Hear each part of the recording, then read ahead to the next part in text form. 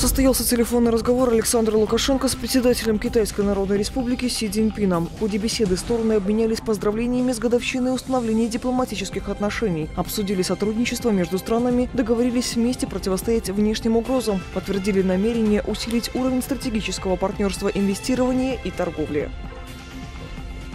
За минувшие сутки белорусские энергетики восстановили электроснабжение в 1800 населенных пунктов. Накануне на территории страны прошел снежный циклон Ларс. Основной удар стихии пришелся на Брестскую, Гродненскую и Гомельскую области. Причиной аварии стало налипание снега и падение деревьев на линии электропередачи. Ремонтные работы велись всю ночь и продолжаются до сих пор. По состоянию на 6 утра без электричества оставались еще около 400 населенных пунктов.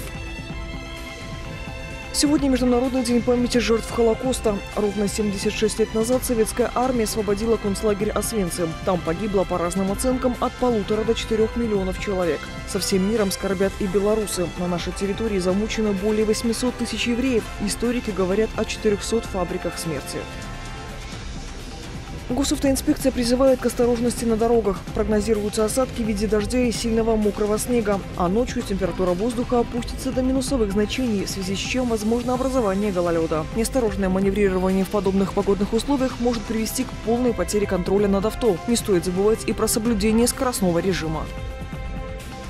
В Минске открылся образовательный центр безопасности МЧС, самый крупный технически укомплектованный в стране. Это учебно-тренировочная площадка, уникальная в своем роде. Здесь в доходчивой интерактивной форме дети и взрослые смогут безопасно ощутить на себе чрезвычайную ситуацию, а опытные спасатели на конкретном примере покажут, как нужно действовать, например, при пожарах, землетрясениях, ДТП, шторме или ураганах.